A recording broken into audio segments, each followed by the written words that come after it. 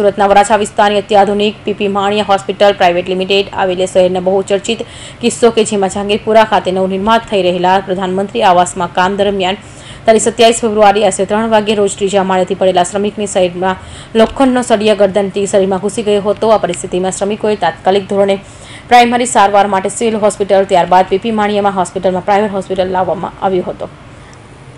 આડિયો શરીરની આ સારવાર માટે લાવવામાં આવેલા શ્રમિકને ત્રણ પોઈન્ટ પાંચ ફૂટ અંદર બહાર બાજુ એક ફૂટ લાંબો સળિયો હતો. આ સળિયો ગરદનની પેટ સુધી જતો તેનું સીટી સ્કેન કર્યા બાદ સર્જરીનું આયોજન કરવામાં આવેલું હતું.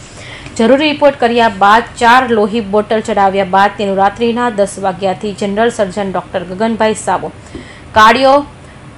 થોરીરેસિસ સર્જન ડોક્ટર રવિસાગર પટેલ કાર્ડિયોરાઇક અને જનરલ એનેસ્થેટિક ડોક્ટર ધ્રુવીને સર્જરી કરવાની હોય અને દર્દીને બેભાન કર્યા બાદ એક ફેફસાની મદદની સાથે ઓપરેશન દરમિયાન શ્વાસમાં આપવામાં આવેલું હતું ઓપરેશન બાદ આ દર્દી વેન્ટિલેટર પર હોય અને ગંભીર પરિસ્થિતિ હોય અને આઈસીયુમાં દાખલ કરવામાં આવેલ હતો और हमारे पास में मोहम्मद रफ़ीक नाम से एक पेशेंट थे जो कि 27 फरवरी के स- दिन उनका एक पीठ से सरिया घुस गया था और जब उसकी प्रिलिमिनरी टेस्टिंग हुई तो पता चला सिविल हॉस्पिटल में पहले उनको लेकर गए, वहाँ प्रिलिमिनरी टेस्टिंग में ये पता चला कि वो जो सरिया था, वो उनके छाती और पेट तक घुसा हुआ है।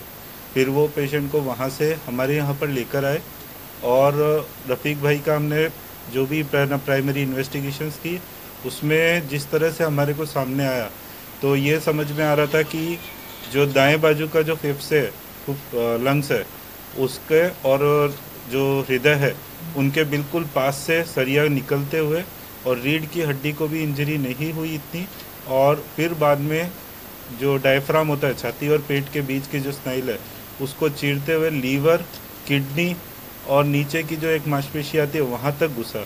तो सरिया जो था वो तकरीबन साढ़े तीन फीट पे, पेशेंट के अंदर घुस गया था। इसके अंदर में सबसे ज़्यादा चैलेंजिंग पार्ट जो था कि वो इंटरनल ब्लीडिंग रोकना था। और जो फेफड़े के ना, चोट लगी थी, उसकी वजह से पूरे का पूरा हवा लीक हो रही थी। दाएँ बाजू में फेफड़ा पूरा का पूरा दना दब दब चुका था। तो इमरजेंसी में सबसे पहले हमने ट्यूब्स डाली, दोनों बाजू में छाती के अंदर, और ट्यूब डालने के बाद में हमने ऑपरेशन के लिए प्लानिंग करी। ऑपरेशन मैंने और डॉक्टर रवि सागर पटेल भाई है, हम दोनों ने मिलकर किया। वो कार्डियोथोरेसिक सर्जन है, और हमारे पास में डॉक्टर ध्रुविन लिम्बाड भाई और डॉक्टर संकेत कारकर भाई ये हमारे एनेस्थेटिस्ट थे। सो हमने ऑपरेशन के दौरान सबसे पहले नीचे जहाँ पर सरिया घुसा था पेट के अंदर उस हिस्से को पहले एक चीरा मार के वहाँ पर अ, सब चीज़ों से जहाँ जहाँ ब्लीडिंग थी सबको कंट्रोल किया। किडनी को बचाया लीवर को बचाया और जो एक पे नीचे के हिस्से में सबसे बड़ी जो ब्लड की नस होती है आईवीसी बोलते हैं हम उसको उससे भी उसको अलग किया गया। नीचे से ऊपर आते आते हमने पूरा उसको सेपरेट किया।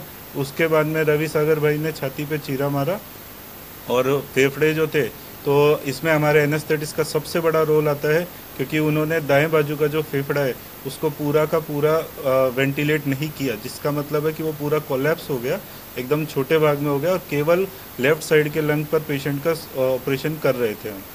और फिर जो था, उधर में देखा गया कि जो फेफड़े में चोट लगी, उसको भी सही किया गया और जो हृदय के अंदर के बाजू से जो नस जा रही है, उसको बचाया गया और फिर वहाँ का पूरे हिस्से से रोड को सेपरेट करके और फिर धीरे धीरे करके हमने रोड को निकाला। जहाँ जहाँ ब्लीडिंग के आसार लग रहे थे, उसको कंट्रोल किया।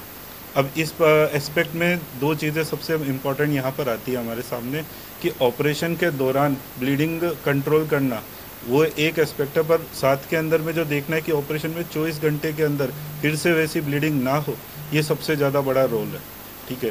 तो इसके लिए जहाँ जहाँ हमने नलियाँ डाली थी वो सब की हमने रेगुलर मॉनिटरिंग करी। पेशेंट को हमको ऐसे पोजीशन में पहले वेंटिलेटर पे रखना पड़ता है ताकि अ, हम उसको बेहतर तरीके से बाहर निकाल सकें।